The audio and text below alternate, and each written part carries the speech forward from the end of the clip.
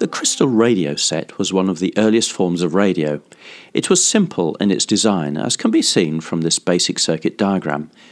It reached its greatest popularity in the 1920s and early 1930s when broadcasting was just getting started. Often radios were housed in a wooden box with a panel at the top on which the components were mounted. Clearly visible here are the coil, the crystal detector also known as the cat's whisker, and the dial for the tuning capacitor. In this nicely presented example of a radio, the crystal detector is seen on the left.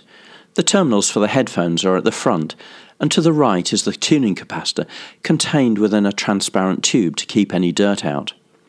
At the top of the capacitor assembly, it's possible to see a dial. This was used to note the best positions for any radio stations. This radio has a box on which the lid can be shut when not in use. Again, all the major components can be seen, with the crystal detector at the back and the tuning dial on the left with its calibration marks.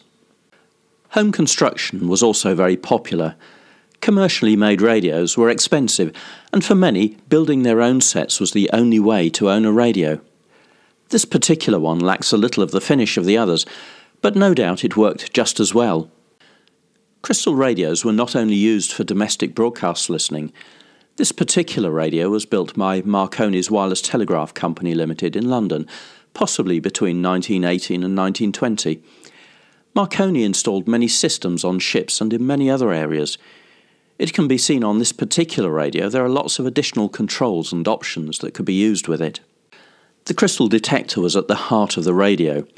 This detector is covered with a transparent tube which prevented dust and dirt getting onto the crystal that would degrade its performance. In this detector, it's possible to see the thin wire that made contact with the crystal. This gave the name cat's whisker to these detectors, and hence also to the radios. The detector on the home built receiver was a little more primitive and did not have a cover, but it's easy to see the cat's whisker or wire and the point contact with the crystal itself. The position of the contact with the crystal needed to be changed periodically. Eventually, new crystals needed to be bought. They were sold in tins like this one, often along with the new wires or cat's whiskers and tweezers to hold them.